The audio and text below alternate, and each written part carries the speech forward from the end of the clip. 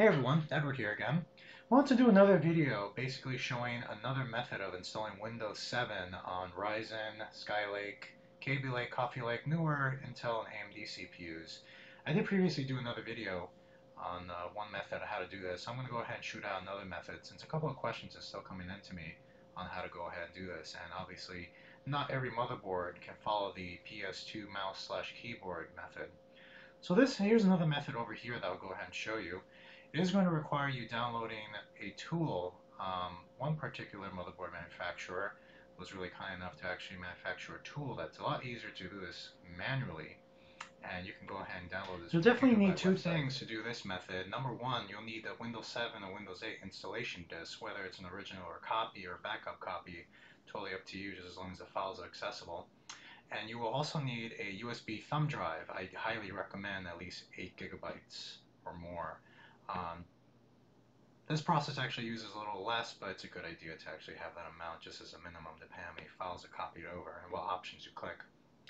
So Gigabyte was really awesome to provide a tool, and I'll definitely shoot a link in the description below, where it preps your USB thumb drive to install Windows 7 and Windows 8. Now obviously people have been using these uh, thumb drives for installation of OSs for some time now, but this tool, in addition to doing that, will also inject USB drivers and as well as SATA drivers in there. So once you boot up your computer, your new board with CPU, with the USB thumb drive and you get the installation going, your keyboard and mouse will work and they'll still continue to work after the installation is complete, leaving you just the need to install the chipset drivers and other drivers with ease.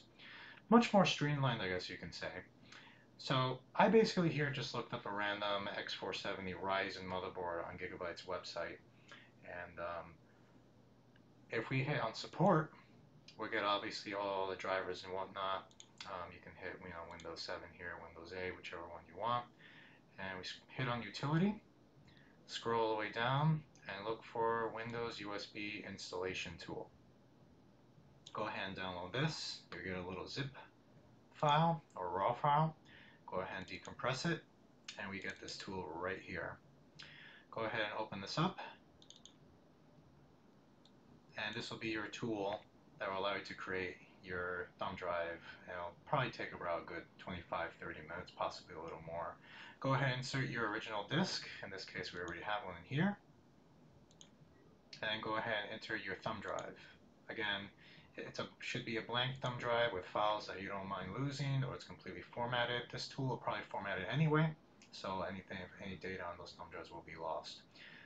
8 gigabytes or more, I highly recommend again. Once you have everything here ready, you can hit refresh if you just insert it after you open the tool. This is obviously add USB drivers to offline Windows 7 image is checked by default. That's obviously really important. If you were planning to use this installation thumb drive to, ins to install it on an SSD, one of these new future SSDs, then this will actually be a good thing to check too. Uh, for the time being, I'm only just going to leave this one, one thing checked here. Once you're ready to go, thumb drive is completely empty, you have nothing to lose on it, and you're good to go. You can go ahead and click Start. Now there are going to be a couple of times where you're going to see Windows popping up saying files are being copied, etc., etc. You're going to probably see that a number of times. And again, this whole process will take a good 30 minutes or so. Um, even if the DVD drive is no longer accessing from the computer anymore, your process is not over. You'll definitely see the process down here, and it'll be like a step 9 out of 9 or whatnot, telling you your thumb drive is complete. So over here, I already have a thumb drive that's already been created. So why don't we go ahead and plug it into, in this case, a Ryzen motherboard and CPU without doing any other prep work and see how it goes. So here we have a thumb drive that I prepped with the Gigabyte tool. And I've only, like I said earlier, I've only selected the USB drivers to be injected into this particular Windows 7 build in this case. So let's go ahead and plug it into our old friend here. Looks familiar, huh? I'm also going to plug in my little wireless adapter for another friend you guys seen in another video as well too, a little keyboard and mouse combo. Now I do have a keyboard, a regular keyboard and mouse plugged into this computer already, but just want to actually have two pairs of uh, input devices as well inserted as well too. Everything plugged in.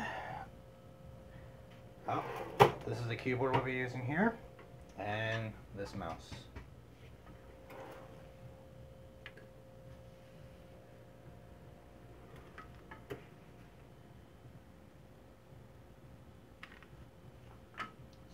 Let's go ahead and hit F11 in this case to select a boot device.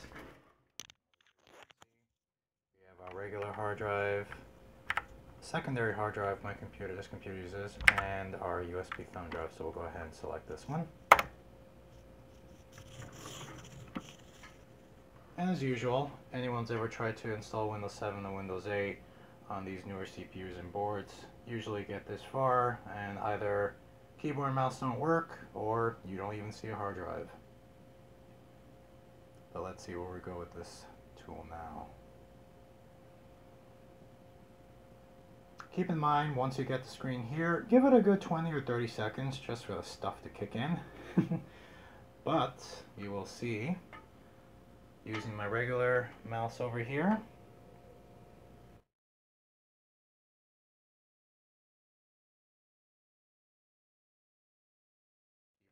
as well too. And just to show, show, show and tell here, turn this on. Even the wireless device works as well too. So let's go ahead and hit next.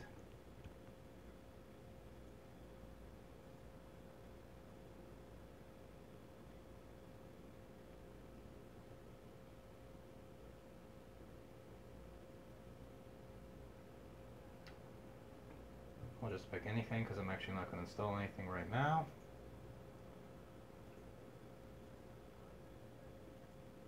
And you'll see we actually have access to our hard drives as well too, so no additional drivers need to be installed.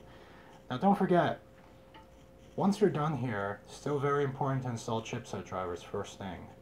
Uh, I'm not sure if these USB drivers are some sort of generic USB 3 drivers, but I highly recommend still installing chipset. I mean, that's given, obviously. And here we have Windows 7 just booting up normally with the uh, hard drives already loaded with the operating system. Really hope you guys found this video useful. I definitely do enjoy uh, making videos of little advice tidbits and other little workarounds for Windows 7, Windows 8 issues, and also installation issues as well too. I don't believe new hardware should really get in the way of uh, enjoying the operating system you desire to use until of course it's uh, no longer supported. If you enjoyed this video, found it useful, definitely shoot a like, share, it's definitely good information. Uh, any particular helpful links that I mentioned in the videos or other links, I'll definitely put in the description below. Um, subscribe if you want to see more tidbits and advice videos. I'll definitely be posting some more. And, uh, yeah, just for show and tell. Again, here we have, whoops, didn't mean to make Windows 7 Ryzen 2700 CPU running Windows 7 64-bit. So, thanks for watching, guys. Take care.